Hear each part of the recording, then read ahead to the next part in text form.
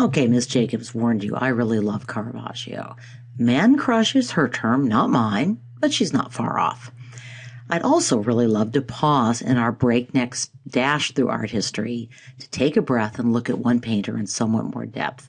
My man crush aside, Caravaggio seems a good choice. He was not only an extraordinary painter, he was an extraordinarily influential painter. Past AP exams included a number of questions along the lines of, this painter was influenced by blank, and usually the blank was Caravaggio. So I'm going to spend more time on Caravaggio than our rushed pace really allows. And as always, I'd encourage you to watch the portions of the video that we're not showing in class. Yeah, I know. Geeking out again. But I am an incurable wishful thinker. So I'll start with a teaser. This painting by Caravaggio is actually a self-portrait. You should recognize the subject. It's still another David. But which figure is Caravaggio? Let's watch and see. So here's a painting that my husband and I saw two years ago in Naples. It's entitled The Seven Works of Mercy, and I've listed the, listed the Seven Works of Mercy on the right. Unlike your required Caravaggio painting, The Call of Matthew, this one doesn't, I think, grab the viewer right away. It's awfully busy. Caravaggio didn't usually have angels floating in from above, but here he does, and I think that Virgin Mary, baby Jesus, and angel swooping in seem a little go for broke. Uh, and sorry about that, by the way. I am a huge Sandra Boynton fan, have been ever since I read her alphabet book to my toddlers and learned that U stands for ugly birds being ugly. Anyway, I think this is a painting worth spending some time with, as we did. If you study the crowded canvas, you can see all of the church declared seven works of mercy being performed by a rather unlikely cast of characters. So, for example, in the background, you see two men burying the dead. They're carrying a corpse although all we really see are his feet. On the right, a woman visits an imprisoned man and gives him milk from her breast. By the way, this scene refers to an ancient Roman story. A woman helped her father, who'd been sentenced to life imprisonment without any food. This is how she brought him food. Pretty ingenious. A pilgrim, that's third from the left, and you can tell by the shell on his hat, asks an innkeeper for shelter. St. Martin of Tours, fourth from the left, has torn his robe in half and given it to the naked, crippled beggar in the foreground. Behind them, a figure that's been identified as Samson is slaking his thirst. So why is this a quintessentially Catholic counter-reformation work? Remember the allegory of law and grace? One of the big disputes between Catholics and Protestants erupted over Luther's claim that salvation came from faith alone and not from works. The Catholic Church defended the central role of good works, and here Caravaggio is lending his support to this creed. Yet even as he defends Catholic orthodoxy, Caravaggio breaks with the traditions of Catholic painting. How? Well, Caravaggio's saints and good Samaritans do not look all that saintly, do they? These mercy givers are, in fact, part of an urban mob, crowded into a squalid city street. This was Caravaggio's Rome, a Rome of pickpockets, prostitutes, gamblers, and thieves, and murderers like Caravaggio. As your homework reading noted, we know a fair amount of about Caravaggio, mostly because he showed up so often in police records. There's another important way in which Caravaggio breaks from tradition. Where are we, the viewer, in relation to this painting? Well, it seems to me we're in serious danger of being kicked or sat on by that man in the foreground. The painting bursts out of its frame. The head and torso of the dead man, for example, and the body of the prisoner drinking from his daughter's breast are off stage, if you will. TV and movie directors and cinematographers you now use this trick all the time. So here's a still from a movie that even the McConnell super geek duo saw over Christmas break. Notice how it's framed or cropped. You probably don't even notice this kind of visual trick anymore. You're just used to it. But when Caravaggio first broke out of the picture frame and let figures he was painting spill into the church aisles or the laps of the faithful, he was breaking new ground. This technique is what art analysts call an open composition, as opposed to a closed composition where all the action stays carefully enclosed within the frame of the painting. So, what does this open composition accomplish in artistic and narrative terms? Well, draws us up into the picture. It involves us in the scene. Caravaggio's paintings invite participation, not just viewing. Paul is falling toward us. We are, after all, the future recipients of his epistles. And that soldier's foot is dangerously close to our head. And we can almost smell St. Peter's feet. Where's the rest of Holofernes? Uh, and did you remember, by the way, that the model for the maidservant was a woman who ran one of Rome's most notorious houses of prostitution, and the model for Judith was one of her top working girls. That, as I've already mentioned, was another big break from tradition. Okay, on to our required work. This is one of the most famous paintings in art history, and it used to show up in some form or another on almost every AP test. Now it is one of our required works, and for once I have absolutely no quarrel with the College Board. Before we hear about the work in the video and analyze it on a few slides, though, I want to pause for a minute and encourage you to talk about why this painting makes such a strong impact, why it was so shocking, and why it made Caravaggio's reputation as a painter, or, for that matter, why you don't see what all the fuss is about.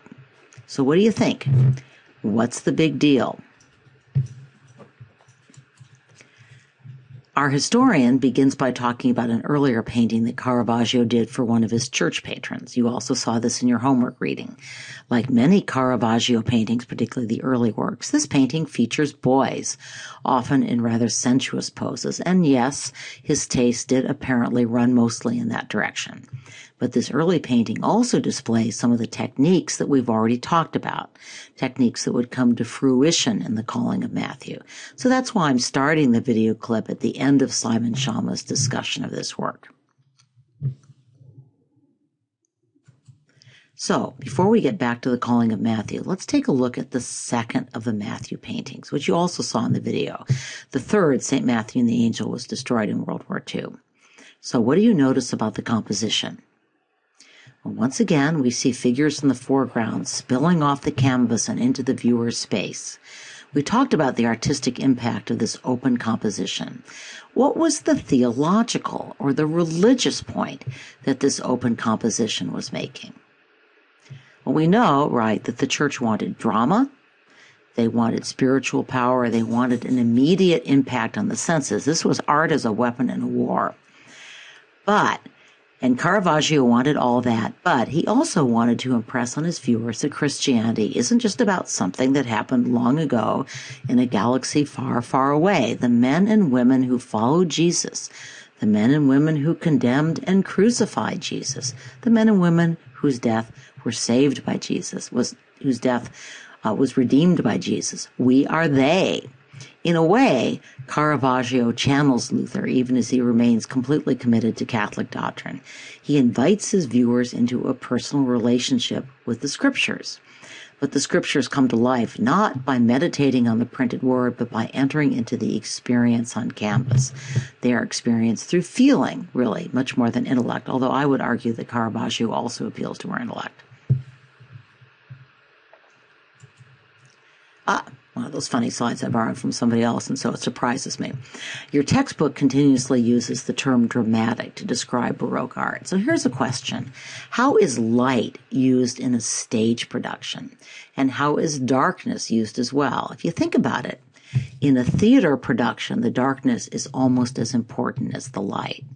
When we sit in the audience in darkness, the immediate distractions around us fade and we're drawn toward the action on stage. Spotlights tell us where to focus our attention, but we know that the shadows may be hiding action to come. You should know the term chiaroscuro by now. Let's hope it comes up. Ah, there it is. Wow. Tenebrism, from the Italian word for murky, refers to the use of darkness as a dramatic device. It's really a subcategory of chiaroscuro and one of the innovations that later artists borrowed from Caravaggio. So here is a detail from the calling of Matthew and a comparison. Where have we seen that hand at the top? It's Adam reaching toward God in Michelangelo's creation of man, right? So, what again religious point is Caravaggio making? Christ is the new Adam, undoing the failures of the old Adam. The similarity of the hand gesture is not an accident. So let's recap. In what ways was Caravaggio very much a Baroque painter along the lines of what we've already learned about the Baroque? Like Bernini, he took lessons in lighting and staging from the theater. Indeed, Bernini was heavily influenced by Caravaggio, whose work was already turning heads in Rome when Bernini began his career. And of course, they were really going for the same set of patrons. Caravaggio strove to make spiritual life immediate, powerful, emotional, a gospel that could reach those who couldn't read. And I would say Bernini was in fact trying to do the same thing. Caravaggio's paintings capture movement with twisting figures, diagonal lines. Again, we see a similarity with Bernini. But how did Caravaggio take Baroque drama in an entirely new direction? And before you answer that, I want you to consider this question first. Why do you guess the nuns who commissioned this painting sent it back? Well, this is not Filippo Lippi's Virgin or Raphael's Virgin or Leonardo da Vinci's Virgin. This Mary looks old, she looks tired. In fact, she looks genuinely dead, not just sleeping peacefully before she is she ascends into heaven. Notice that her skin has something of a greenish tinge. Her body is bloated. And what's with that screaming red dress? And then, if this wasn't distressing enough for the good sisters, the word got out that Caravaggio's model for the dead Mary had been a drowned prostitute who was dragged out of the river. The nuns were appalled. And yet, surely the grief of the apostles and Mary Magdalene, she's the figure in the front, is so real. Christ had come to conquer death, but this painting isn't about the conquest. It isn't about eternal life. It is about the tragedy of death. But of course, that's also part of the message of the gospel. So you just saw this painting. It also appeared uh, in the homework reading, and it's easy to see the chiaroscuro and tenebrism in this work. Those dancing circles probably aren't necessary. But what other characteristic Caravaggio features do you notice? Well, there's that open composition again. Paul threatens to land in our lap. The groom, likewise, is clearly an ordinary man, occupied with his job. He seems really not even to notice a history changing event right below him. Biblical events were real events that erupted into the lives of people like ourselves, and sometimes people were a little clueless about them. At least some of the figures in the calling of Matthew, as you heard on the video, seem oblivious to what's going on. So Caravaggio's last years were grim. He murdered a man, maybe over a tennis match, maybe over a prostitute they both fancied. We know that Caravaggio got into duels and brawls all the time, and he was uh, not trigger happy, but sword happy. At any rate, our anti-hero fled to Sicily, and then to Malta, and then back to Sicily, where he died attempting to return to Rome. The beheading of John the Baptist was painted for the Knights of Malta, which Caravaggio briefly joined. It's interestingly enough the only painting he ever signed. And he signed it, as you can see from the bottom left, as if in blood. Violence permeates Caravaggio's paintings, as it did it permeated his life. But Caravaggio's graphic depictions of violence also made both an artistic and a religious point. So let's return to the video. You may have run out of time by now, especially if you've had a good discussion. But if you have time, let's finish the story by taking a closer look at the painting you just saw, the slaying of John the Baptist, and then returning to David and Goliath.